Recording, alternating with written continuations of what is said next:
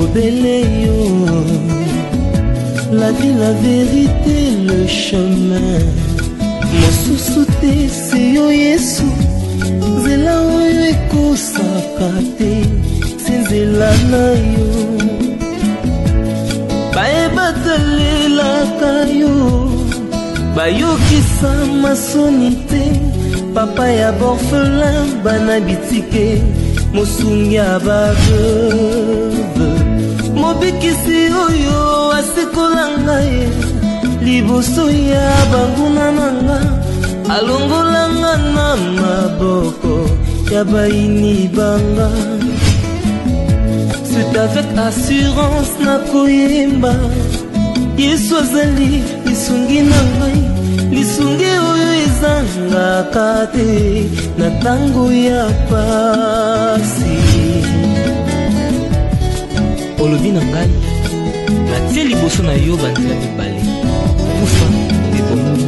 Kasi olobi na ngai, pona bomoi. Naye kososola ete yo nde ozali bomoi. Nzela na yo eza nzela oyo ezopesa vie. Nzela na yo eza nzela oyo toza na assurance ya avenir na biso. Oh Jesus, nzela mosusu eza te bobele nzela na yo.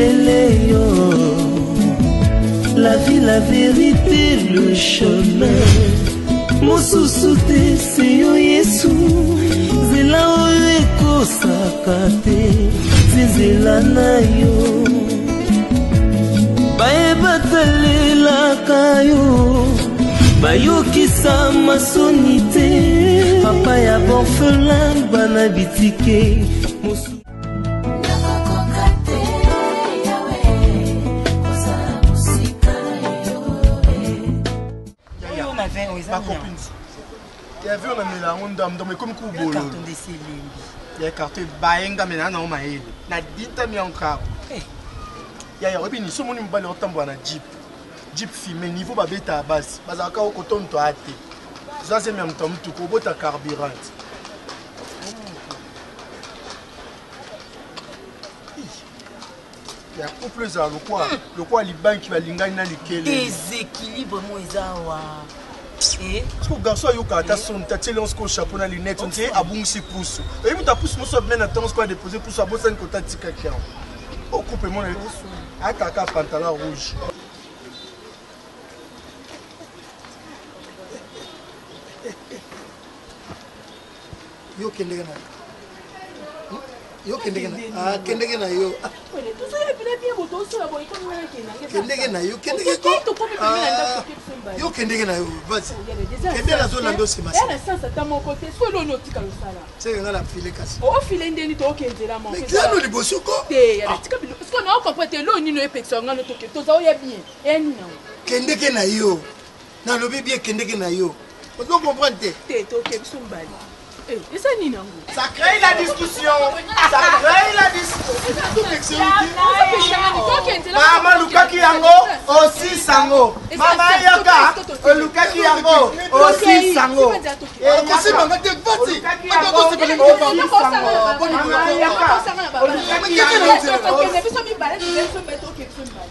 Ça crée la discussion.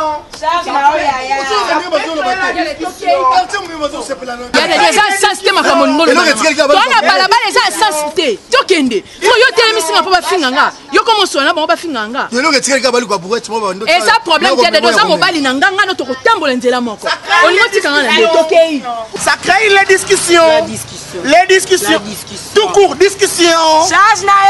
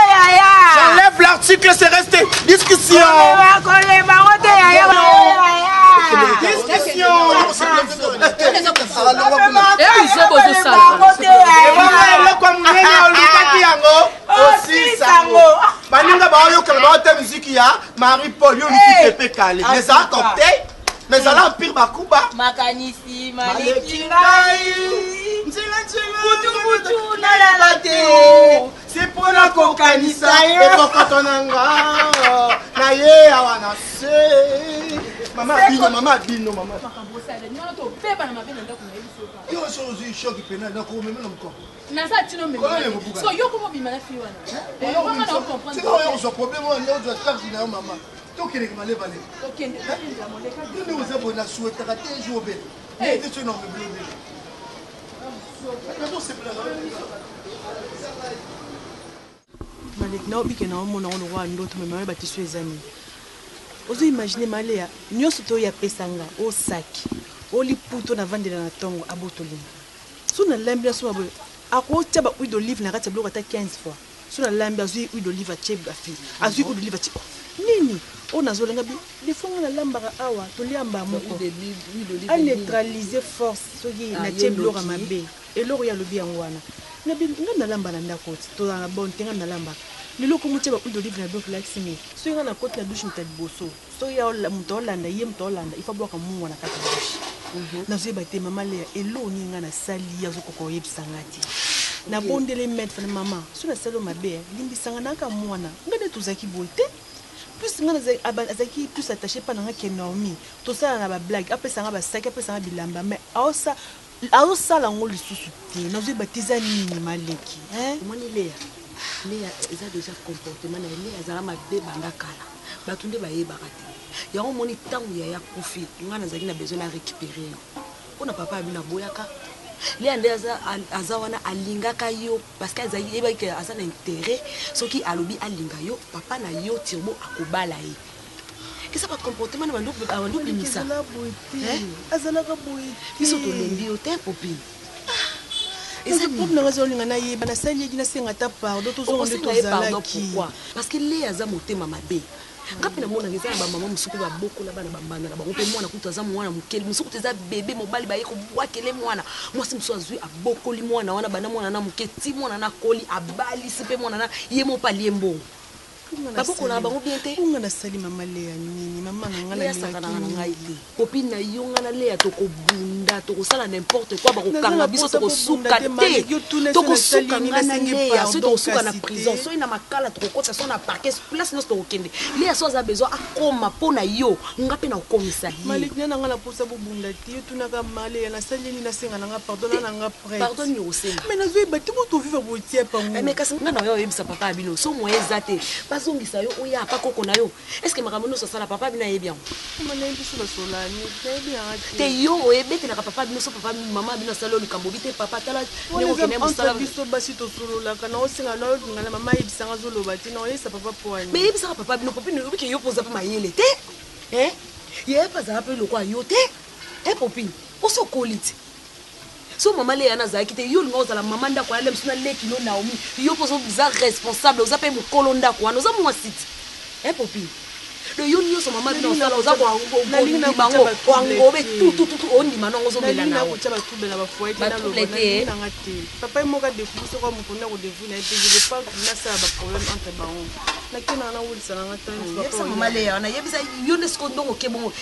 Yebisa ye loba na wuti pa maman leki maman leki alobi makambo ozo sala nga continuaka kaka mais mukolo akoya bino mibale boko yebana po boa basi yebisa ye.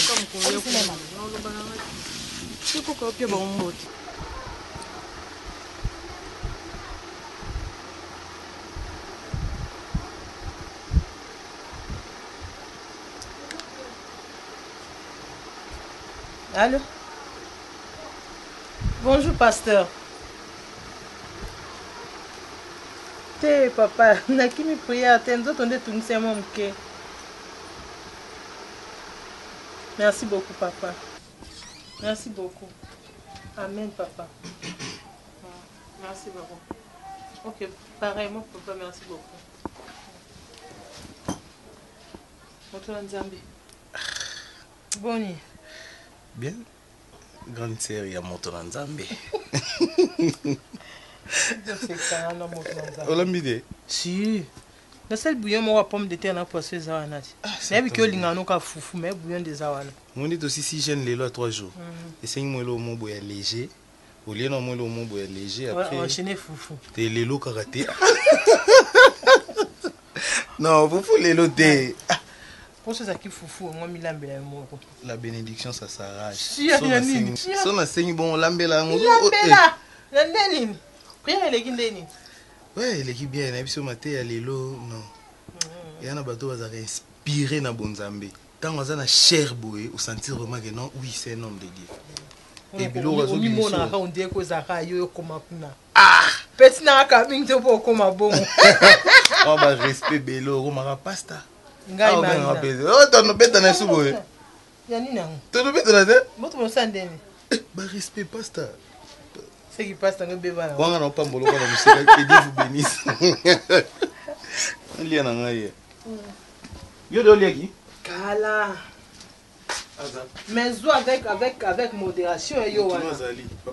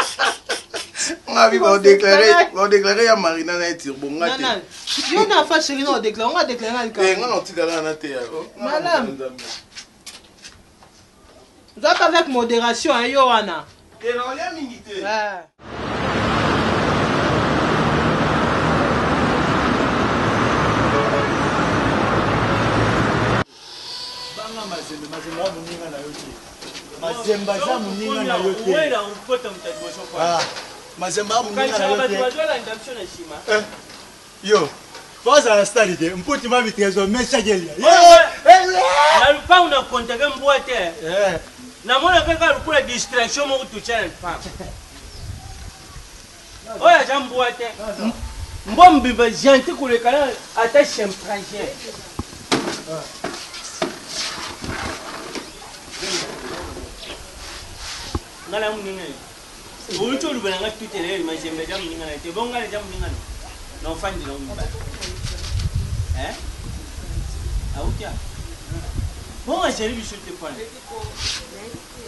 babe mi papa omoni makambo na banda opresentir yango ekokoma na yo luba kaka mbala moko obandi obetisa nano bato motema opochanti soki bamakango ya tirbo aza na mpasi ou soit aomona bango te azoluka bango azozwa bango te do amoni sikoyo popine aplace popine wana lokola mbanda na ye mpo akoma komaltraite popine akomisi popine mbanda ne de popine sikoyo akomi victime te hein popi na wuti awa aye abandi kolela azokoka na ye te leya mais non papa leya akomisi popi lokwa mbanda na ye nayebi te so akangi ye ndoki ah. popine so alambi biloko na ndako ava yalia biloko wana azwi huile d'olive asopi soki popine akoti na duche huile d'olive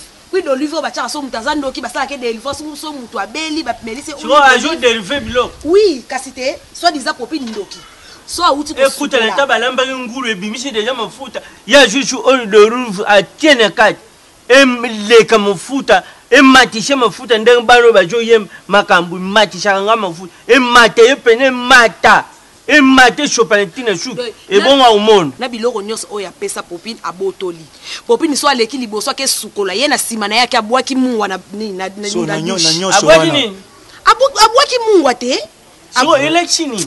so na nyonso wana ye papa na bango tiibaloba yango natuni popine ngai alobi papa bino ayebi makambo te aye atraite yango entre bango basi ngai me yo oza mayele to akisengi bazomaltraite yo na ndako atata na yo abwaki sikoyo lija mungu yango azobwakela popine eza ya bashenzi to ya banini kasi na baeglise te ekoma bongole mosusu moto aza ndoki ozwi mungwa osopeli ye nayebi te so esalaka deliyango omoni eh, bino bana na biso tozobokula lelo e eh.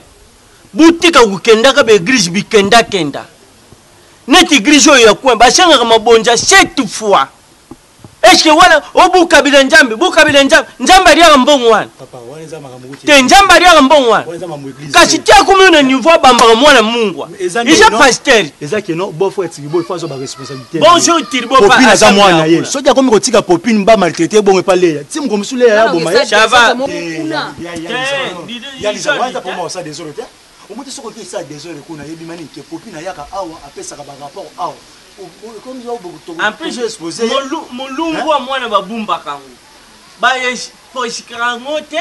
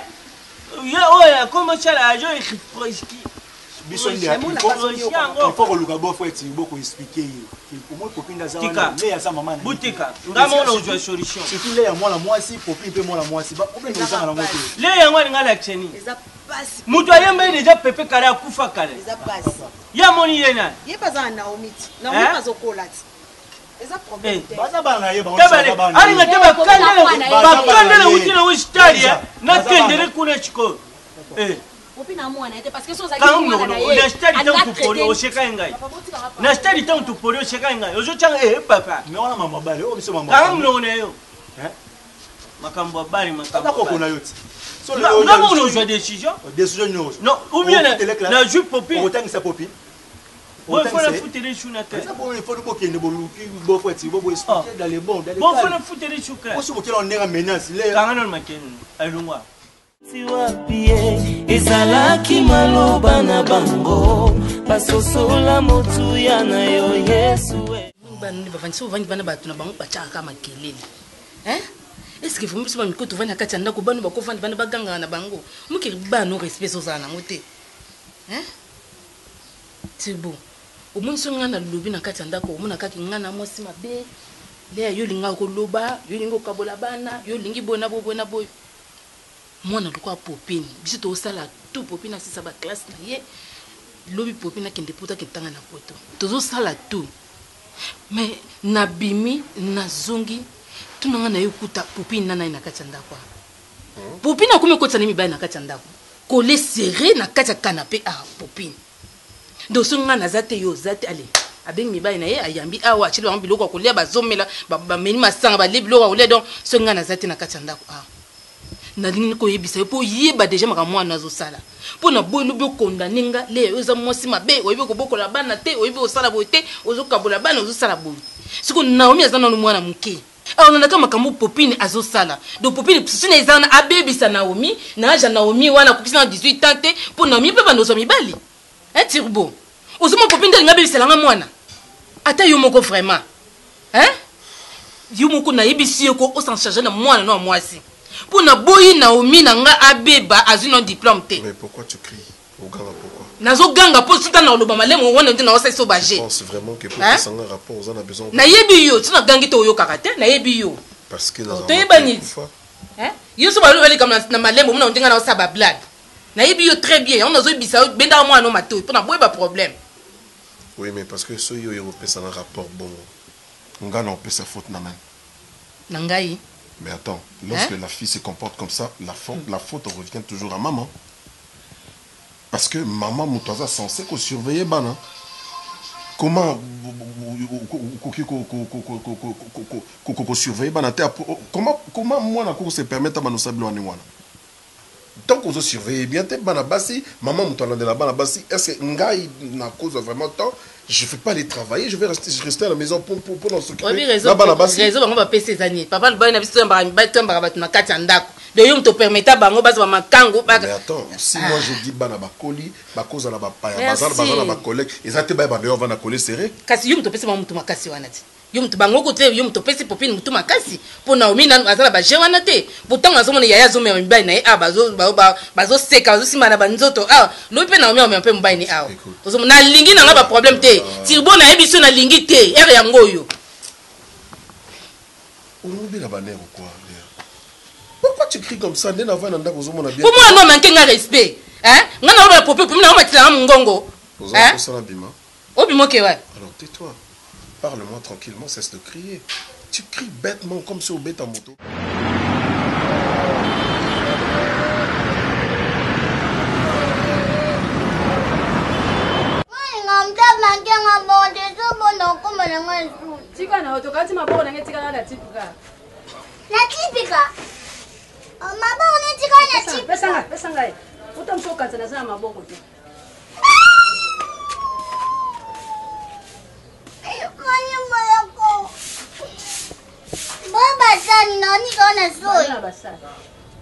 mayo kasi oyo robinet rési des eaux mayo ezobima te kasi oyo oh, wana ezotanga kuna nini moke na nzela oti mokoni ata yo Christelle tala nga pardon so mai wana ezobima. Mais yango etondi ezosopana te. Yo msani osala okoya omema ba mai wana te. Yo mona ozala mwana moke. Oyelinga to. So azotambola kaka boye okanisa bamama bapesa bana bango demarche te na chine bademarche ya bachinois kaka boye sa lokola bana oyo bazokola na ngola lokola bizengi obanda ozalaka na yo olobi alobi yo olobi alobi moi mobi eh, en tout cas na basani na bino ezobetela bandindi bo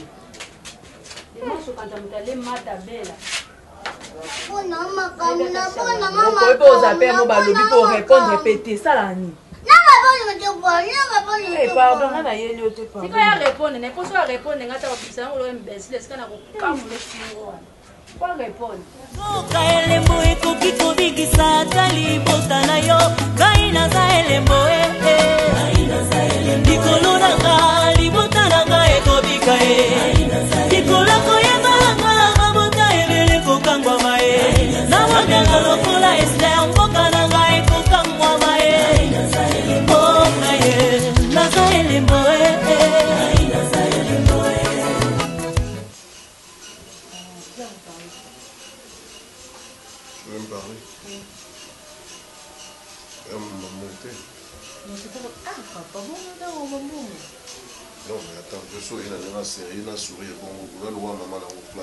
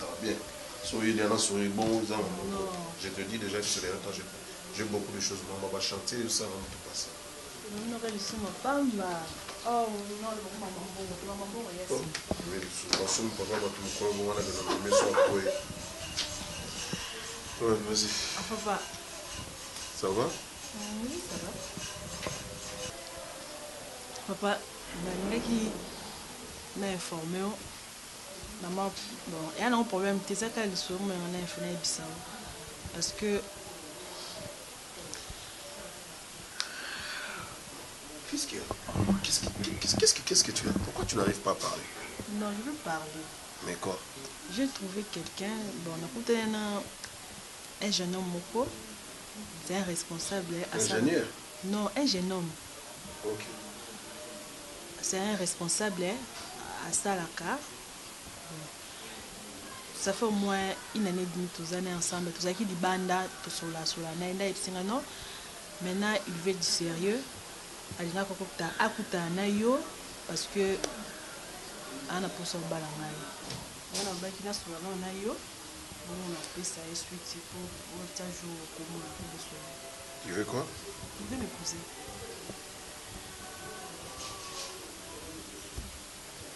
Attends. Le fameux monsieur c'est le voyou dont ta maman m'a parle ici? Non papa, c'est pas un voyou. Aza Ce n'est pas un voyou? Non. Mais si ce n'est pas un voyou, comment il se permet de venir dans ma maison et on va nous coller serrer? Na position oyo Lea akuta bino nango? Nga na tovandi kuna ki sika ma bavandeli na Naomi nanga te? Lea aza moto ya liboma? Papa. Donc yo attends, zela, attends, je vais te poser une question. Attends, toi tu te prends pour qui?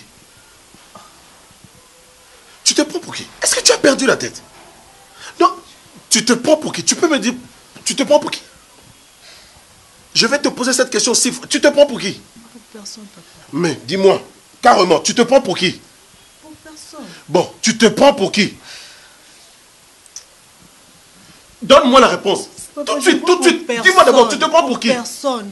Nde naza naza nga te. Oza yo te wapi mitiki na ndako. Mana otambola kaka nde naza bo ata moto atindiki nga na okuya. Ah, na kilo nini? Eh. Yo kanzi ko koya moto ko ezali. Makambo ya dadi azo sala mama.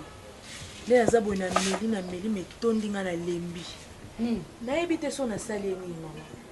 Ya daddy kofinga nga maman mikolo nionso na tongo na midi na pokwa nayebi te munene yango nga naza nayebi te maman bato baleki nga kutu na minene baza baza pe na bandako ya mabala na bango me na ndimi te ke bao mono nga nazo mona maman nasali ya daddy nini nde naza boya daddy tayaki obala nga yebi te ke nga na kokoma munene munene nini yango mabe kasi bino mo bandeko na nga boyebisa nga te ka ya daddy azofinga nga ona ko munene oboye na boye nazoyeba te siko maman naliaka te nasala siko nini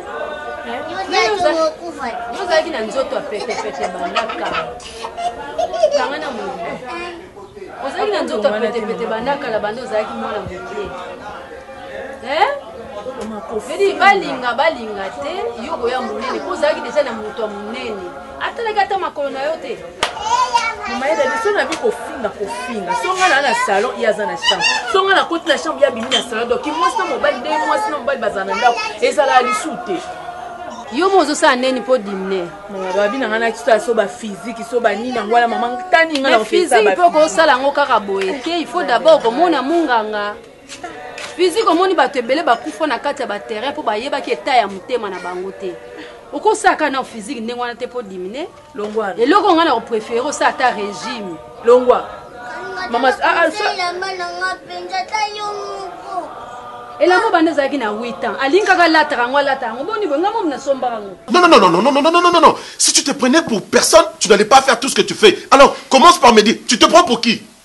Aza pour personne.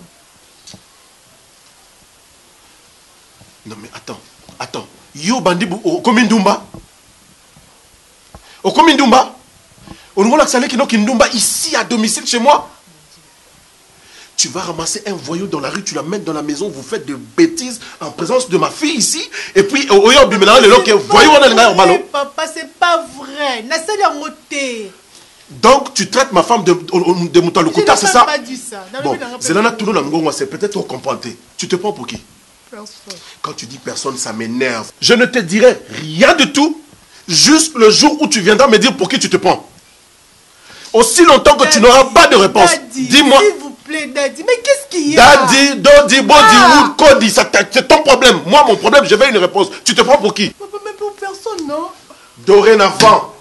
dans cette maison, tu n'as plus droit à rien.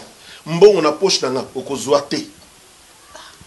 Va vivre avec ton voyou là dans la rue jusque le jour où tu viendras avec ma réponse. Si tu ne reviens pas ici avec ma réponse, je ne parlerai pas avec toi. Par rapport à quoi Par rapport à tu te prends pour qui tu dois me dire pour qui tu te prends. Si tu ne me dis pas, je ne veux plus rien entendre de toi. Mais quelle stupidité comme ça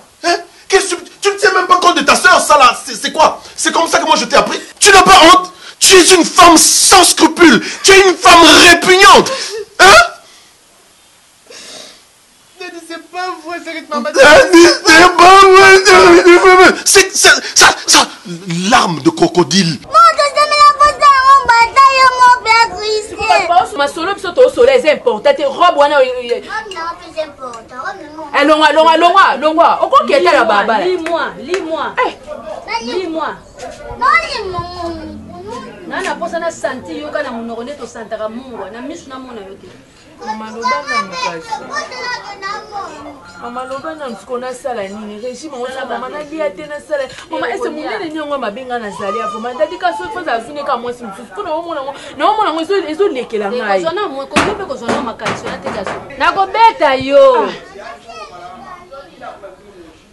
kozwa na makanisi te kazwi mwasi mosusu yo banda nao liboso kosala oyo ye azolinga alingi yo ozala monene monene makasi te monene yango mpe sala yango bino bozalaka soko ko monene boye veli na katikati ya makolo toki eh oui ozoloba na mama yo oyebi ke nga bandaka nazalaki propre ekozala propre kasi ntango mosusu mpo ozala koluka libala ntango ozwi libala boye mobali oyo azala komona liboso amoni yango lisusu te amoni kaka mama opa ofuwami aza awa te yoka aza awa te so mama nasala nini nabanda na nini kasi nasala nini olamuki na ntongo po omoni ba misusu bazuaka makambo ya nzambe lokola a la legere nayebaka yo mwana yango oza makasi na priere te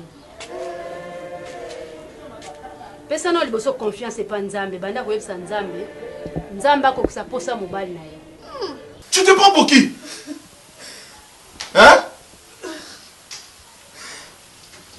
Écoute, écoute, écoute, écoute. Aussi longtemps que tu ne reviendras pas avec ma réponse, je ne veux plus rien entendre de ta bouche.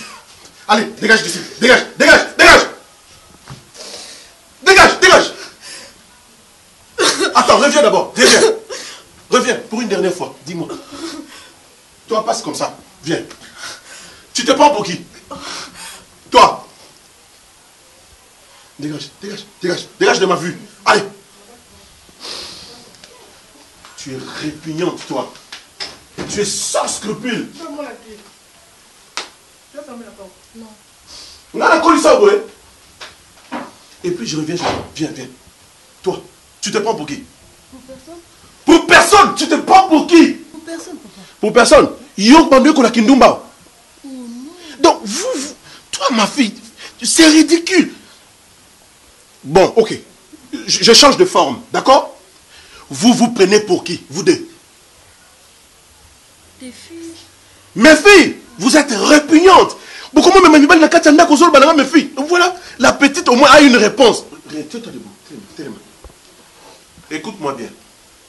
Passe ici, viens. Viens Toi au moins tu as donné la réponse à ma question. Ta soeur n'avait pas de réponse je ne veux plus jamais entendre. Toi, tu es la petite, elle, elle est la grande. Si elle a pu gâcher sa vie avec de voyous, toi, tu dois faire très attention. Je vous ai élevé avec beaucoup de difficultés. Ce n'est pas par un bouton magique comme ça que j'ai gagné ma vie. Vous vous prenez pour qui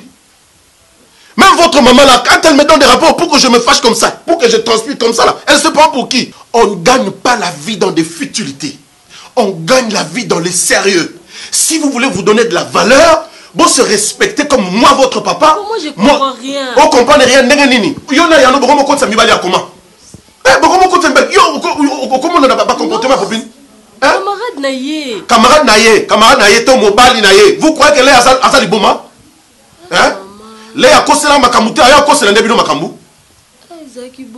papa. Na lobby boy. Une femme ne gagne jamais sa vie dans des futilités. Gare à toi, ne plus jamais suivre de comportement comme ça. Si je t'entends avec des comportements comme ça, je te rassure que je vais te couper la tête. Je te donnerai même pas la chance de me regarder dans les yeux pour penser que tu es ma fille. Vous vous prenez pour qui oh, Je répète pour la dernière fois, une femme ne gagne jamais sa vie dans des, dans futilités comme ça.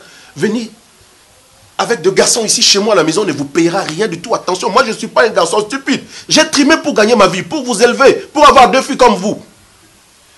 Et même, je vais parler ça à votre stupide maman qui vient me donner des rapports pour que je me fâche comme ça. Si je tombe et que je meurs, elle va aller trouver un autre mari Elle se prend pour qui Vous, vous vous prenez pour qui Moi-même, je dois me prendre pour qui Hein Allez, dégage, dégage, dégage, dégage. Écoutez, moi, hein, moi, que vous voyez là, moi, il y a deux fois, je peux, paf, je fais un bouton comme ça, je deviens aveugle. là. Hein. Je prends un fouet, je te soulève cette robe-là, je te chicote bien. Allez, dégage, dégage.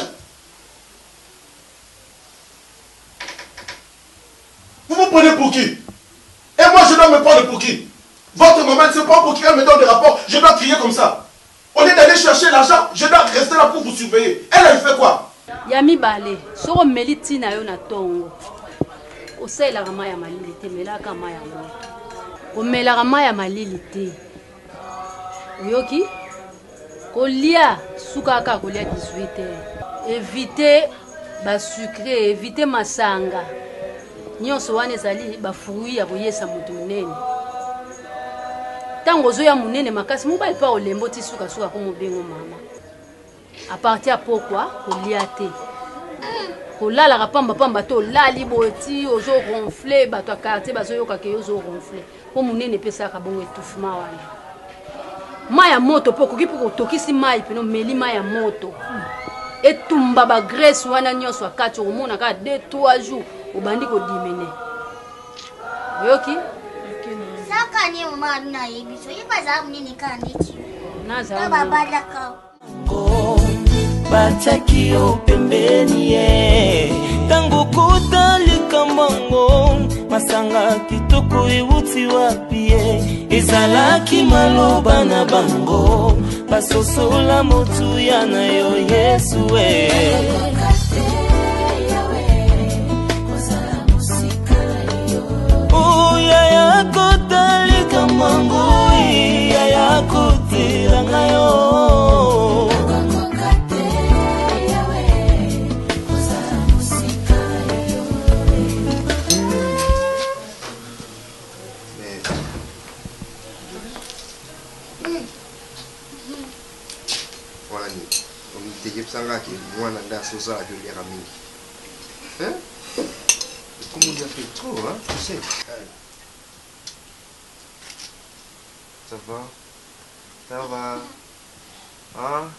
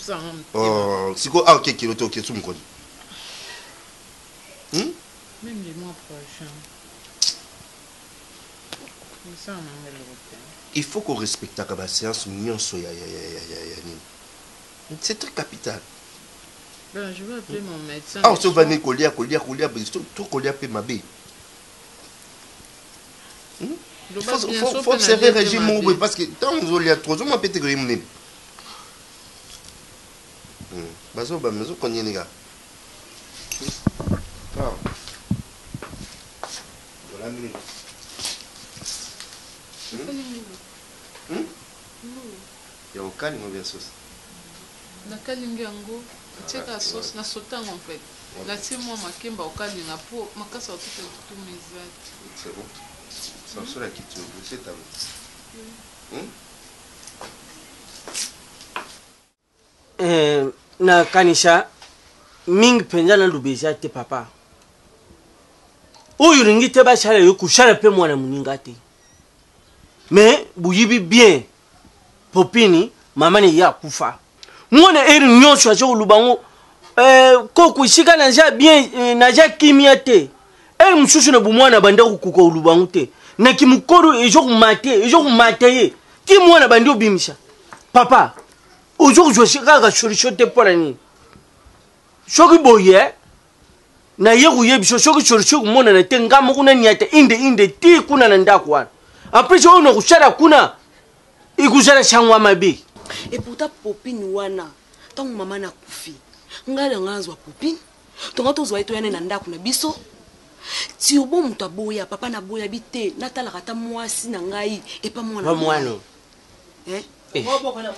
marina koloba bongo te parce que oyebi nanu oyo ezalaka te marina yo obokama mpa bato te eh? obokama mpa bato te yango ozoloba bongo Papa na biso nde aza na boya tobokama pa bato parceke toyebi bato bano babokwamaka pa bato ndenge basufraka po mpe na bomwana na ele mosu andako kokobimisa te lokola koli se normal aloba itondi ye loyi azoniokola popine popine marina koloba oyo ozoloba te ozokotela parce que aza yaa na yo popine biso tokoma kolongola souci ya yaa na biso epa popine popi nakoki konyokwama te mpo na nini popi nasali nini baza bana mibale mpo ani leya ye ndenge aza na akolinga naomi aolinga popine te mpo ani popine na ambanda na ye plus eh, papa nangi na tune eh. ti opesa mwana na yo nkombo ya tirbo banda osala na brasserie nini yabi ke eh, monga naza so na monio nga moko eh. elekela namona oka lokola filme zemi yango nde ekomaki lokola problème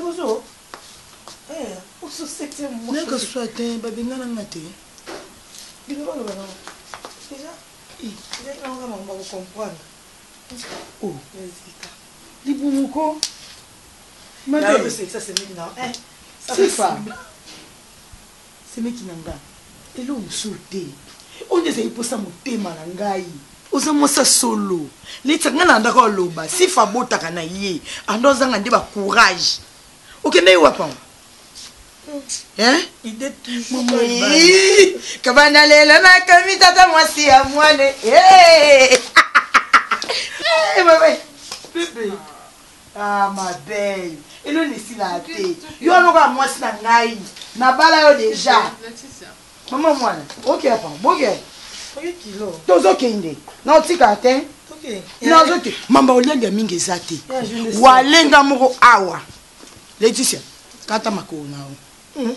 Eh, lobi lya nga mona nga na valise na nga na yo vanda eh. yo mona landelaka yo nga mona sukolela olingi olobisa nga te eh tokende te olobisa nga ah, ah. olobisa nga fobima ah, olobisa nga nalinga ko mingi oya mwasi na olobisa nga olimbisa nga eh? eh, oh, okangela nga kanda boyini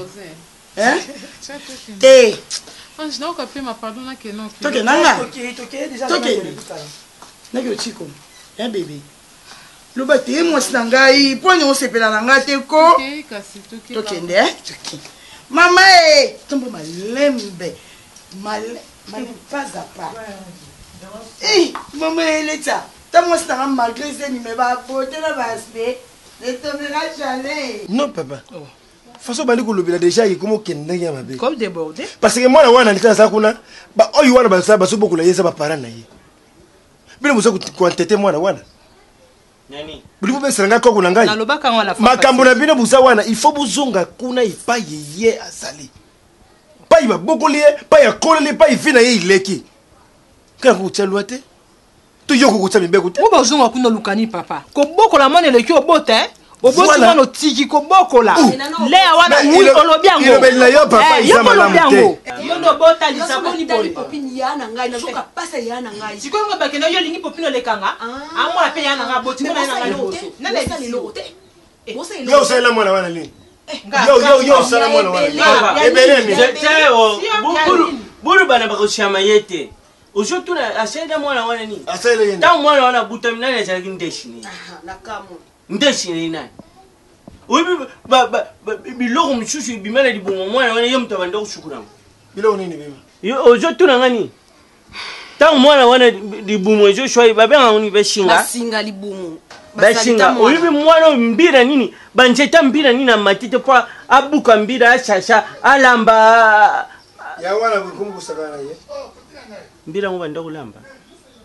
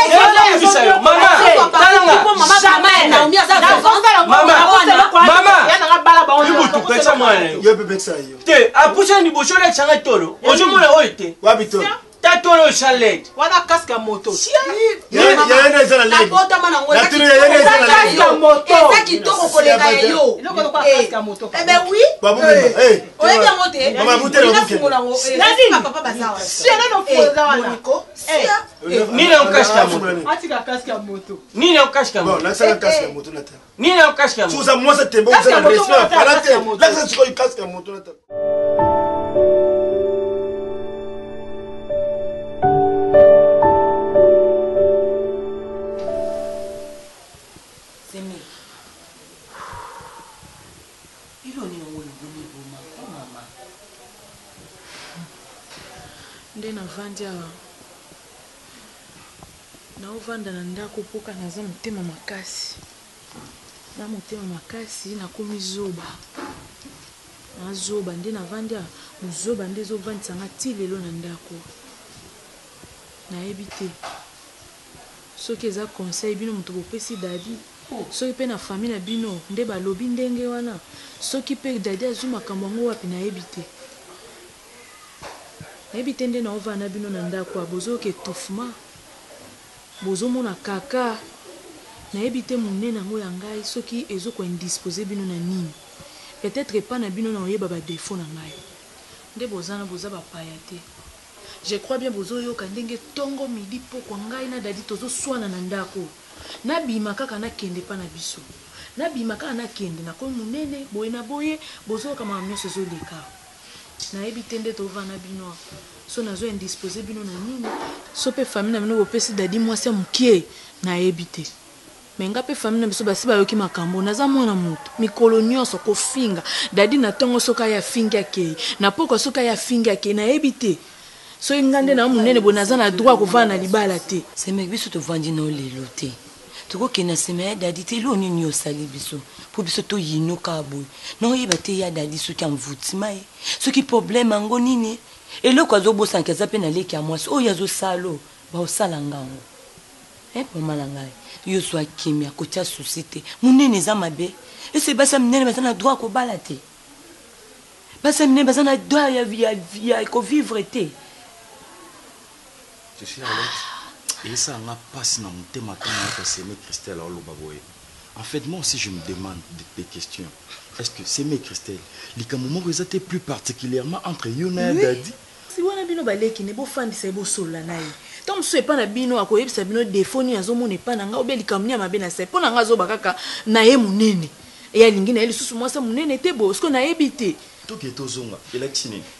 Kozala monene nde okomi mabe? Nde oza susu Christelle oyo biso tokendaki kobala te topesela yo mbongo? Pourquoi ni mutu ako changer kaka boye d'emblai boye? Nini yango juste ce poids? Mobali naye soki mwasi naye akomi munene asala regime ayebisa kaka mwasi naye te sala regime nalingi lisusu boye te c'est ça au lieu que ba moto ezo pela kaka likambo moko ezanga mutu na makolo. Tozo yeba likambo yango te soki eza nini quand on veut noyer son chien on l'accuse de rage hein oui.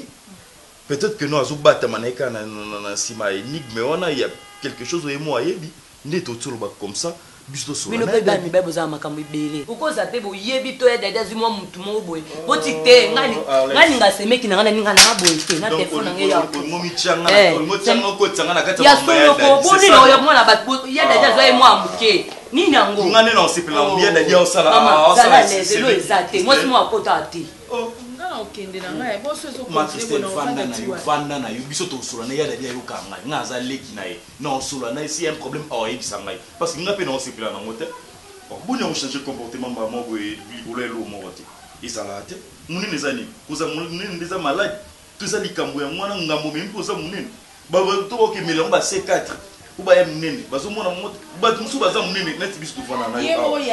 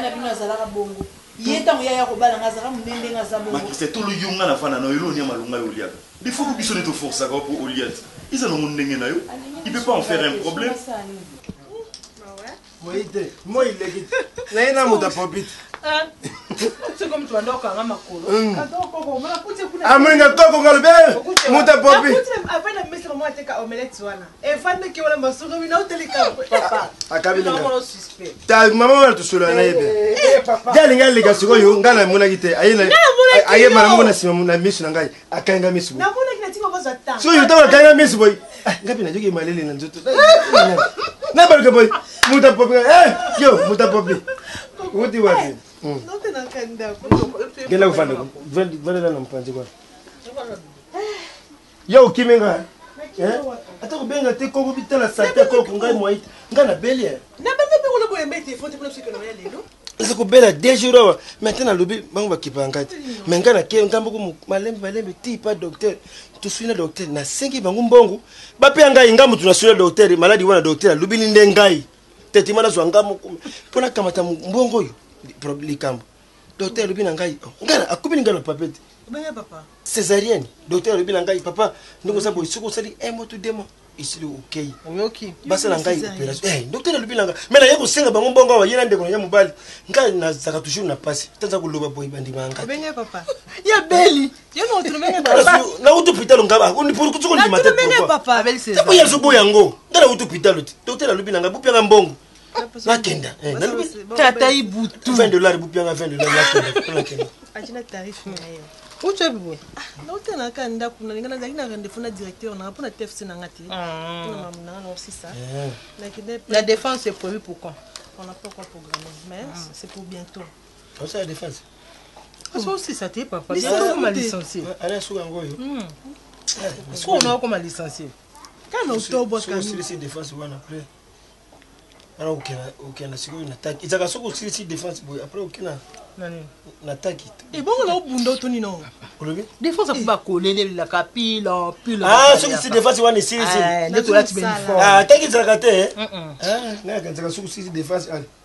batindi yo na taki non eh toi na sisi de face à collation eh, wana collation eh obe na pipo pipo na nzela kasi kubeta ba sifflet eh, kasi yango wana ezala boni tata masinga vous me l'avez plus pas non hmm.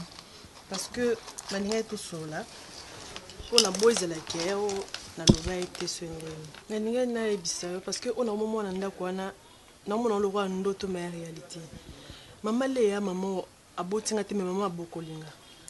Maman Lea ata akolisi nga akomisi nga mwasi munene boye mais nayebi te eloko nini se passe entre nga na ye. Na meka un peu muke na sola na tuna ye soki na sali mabe ayebisa nga na mutu peut etre nako sala yango par erreur nayebi te nao se corriger mais façon ya komi ko traitele nga nao supporte lisu te nao koka lisu te nayebi te eza nini nga na mukolo tantine Marina bisila nga nao sisa classe. Nakosala il faut nazala quand meme na mutu oyo lobi ezala te que nabandi kolona bitelengano soki ndenge nakutani na garçon tosololi na ye c'est un homme serieux c'est un responsable asalaka nabiki au lieu totelema na ba coin tokende na ba bolingo mua bana mike namemi non ya omona pa na biso omona famille na nga nde tozalaka po lobi osadere na famille na ngo oyebaki lobi oba ozala na famille na yo pe.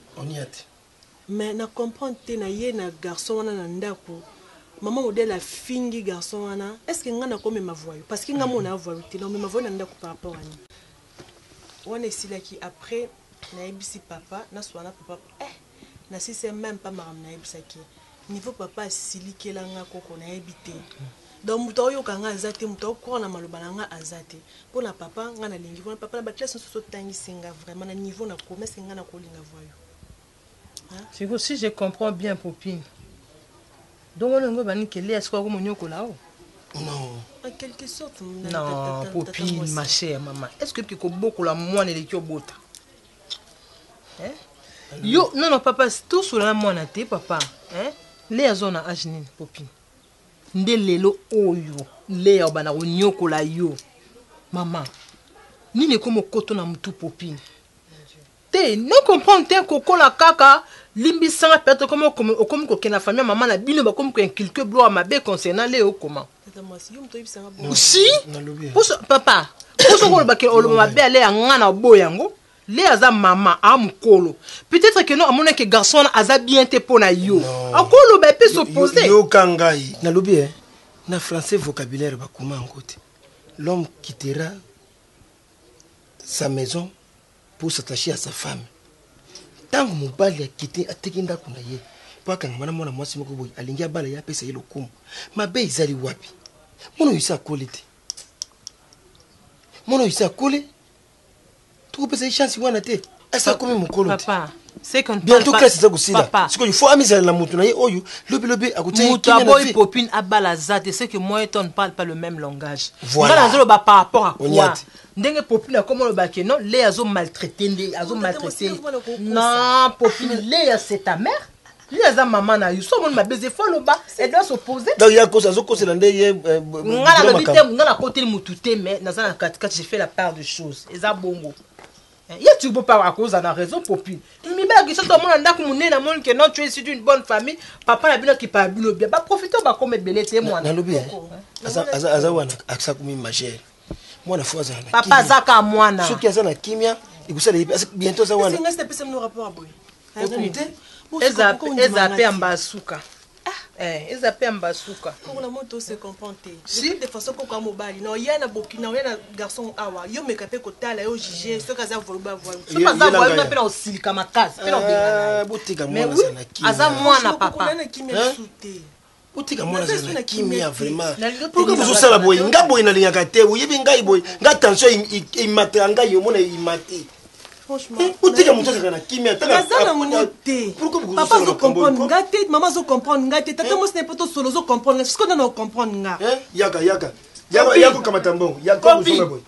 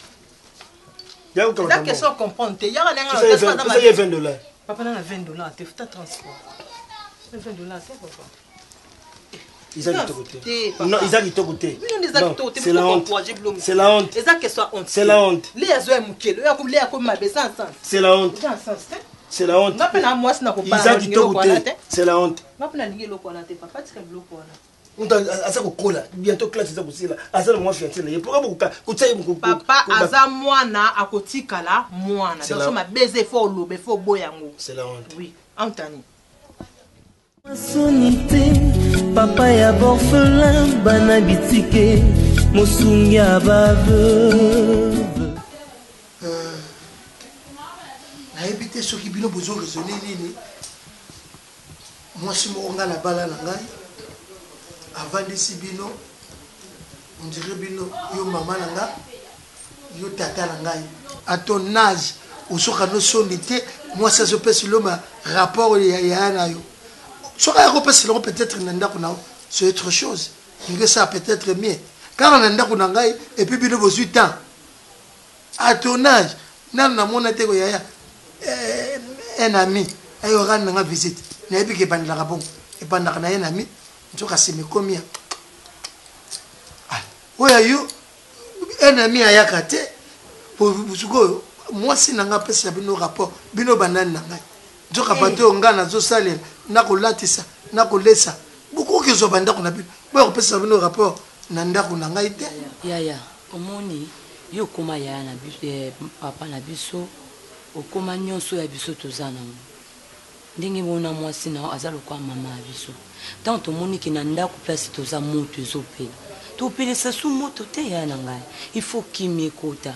ozua ye mwana muke siko problème yango nini lokola biso to tuni ye alobi ayebi problème oyo te biso toza ba ndeko no oyebisa biso ke tala problème eza boye boye mais eza ka pona munene te ya dady na biso mwana mwasi ya batu azo lela chaque jour Chaque jour na kolia pambo azo lia te. Ye moko aza oyo meka pe kosola ne bo na bona loba na place na ye. Malam tomoni ye papa kombo nani osalaka nini ovandaka wapi. Nga tata mwasi ya popine koko ya popine tata leki ya popine yeyo. Merci pour la parole kombo na nga Djinny. Djinny Luindula eh, Luindula c'est nom de la famille Voilà je suis du bas Congo hum, Maman Mungala donc voilà Nkongo Mungala Naza mwana Lemba Naza mwana Lemba Lemba eza eh. bague Lemba ya munene papa Bon, Lemba super, hein? je suis à super, euh, et pas dans super, ma maman baza kota likolo na salongo. Voilà. Et puis à part ça, na saka na société moko ya ya ba reseau na biso awa epuis voila na zalaki vraiment na besoin ya koluka na mona ata famille mobimba te mais ata ndambu ya famille parce que l'autre fois j'etais à la maison na monaki maman malheureusement na zalaki vraiment le bienvenu te je sais pas pourquoi parce que popi na lobaki te ke na koya c'est pour cela maman azuaki mua kanda envers ngai mais na sengaki vraiment na mona koko na ba tata muasi Po ndenge tosololaki nayebisaki nga famille eza munene famille ya mamu ya papa tout ça. Merci papa nawuti kolanda yo ndenge olobi ndenge obandi maloba na yo eh, Moise Mbiye nayebi te soki osambelaka eh, mosala nzambe moko Moise Mbiye ayemba nzembo moko aloba bokanisaki ngai eh, Binadama na za Ezau balati poso ya meme po ba distraire public ayokela biso mawa boyiba benediction na ngai ye JB Mpiana tala o- o- o- omoni pourquoi mosala nzambe ayemba nzembo wana yo oye epa na ngai awa okamati olati veste lokola donc olati poso ya meme po toyokela yo mawa po distraire public donc olingi odistraire ngai na famille na ngai yango okamati poso ya meme wana olati yango nakamata koko na ngai nakende kopesa yo nazomona yo lokola voyou ezomona yo lokola voyou babilo mosusu fo oyoka biso soni ozoka mpe mawa oza na soni te alekisi mpe motu yo kende luka mpi na yo non yaya okosala biso boye te yala di obeta atolo a tongo midi pokwa ke biso toza nyonso oyo oza nango mpo na biso mpe oza nyonso oyo toza nango yala di tolinga te mabe moko boye ekomela yo ekomela libota na yo monene je suis critique na quartier je suis critique na mosala je suis critique partout mwasi aleki monene mingi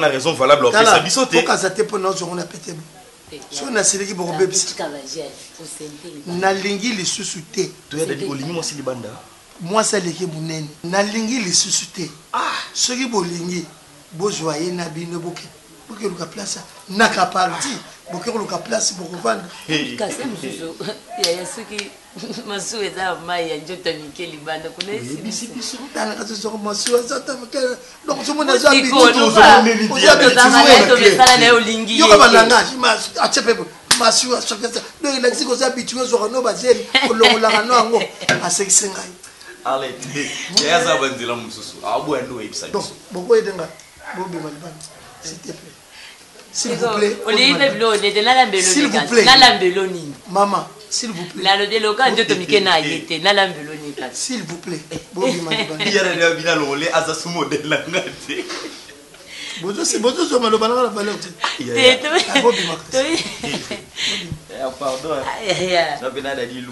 ozolobakaosolisiadadinakiela ngai mais yo moko oyebisa nga ke lorsqu'on veut noyer son chien on l'accuse de rage yo moto oyebisa nga oyebike naza na savo moko wana esili ka boye natikoli eloko bilamba te elingi oloba nini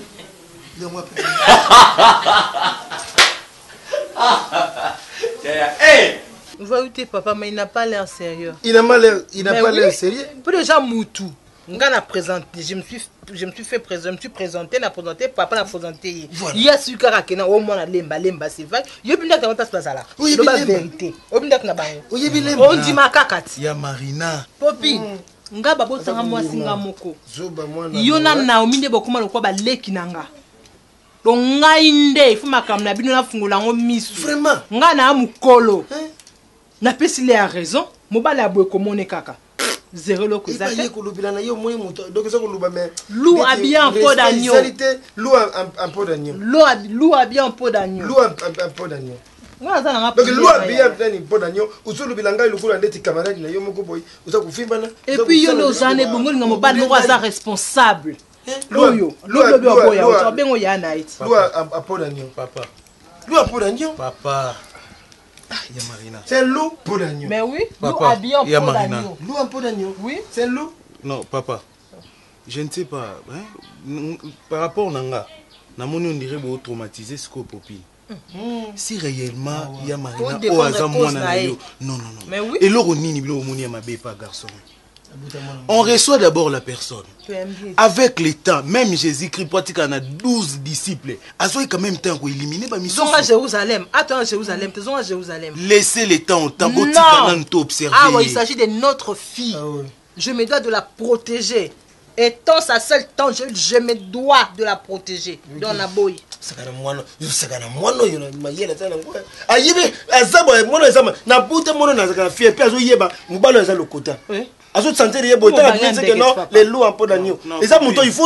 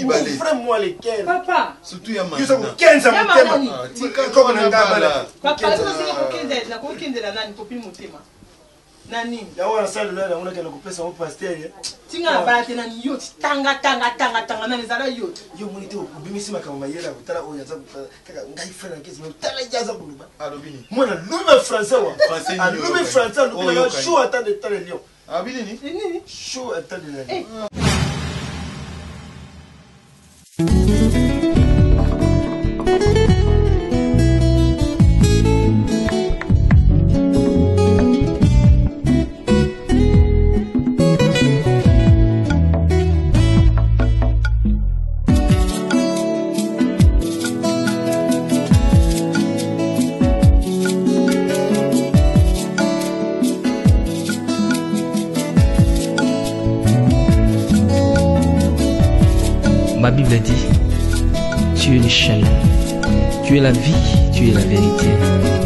Nani alanda yo abunga nzela azali te. Yango ngai nalobi nakolanda nzela mosusu te. Nakolanda kaka nzela na yo Yesu.